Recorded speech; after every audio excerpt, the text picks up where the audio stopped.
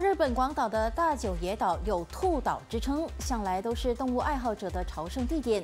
可是最近几年，因为游客不断喂食，导致兔子数量暴增。从2006年的300只兔子，到现在已经有将近一千只。兔子不断增加，不仅为社区带来卫生问题，同时也导致兔子为了争地盘打架受伤。对此，日本环境部举办研讨会，和三十名兔岛持份者研究如何在保护兔子的同时，又能够继续发展当地旅游业和保护资源。报告会在不久后公开。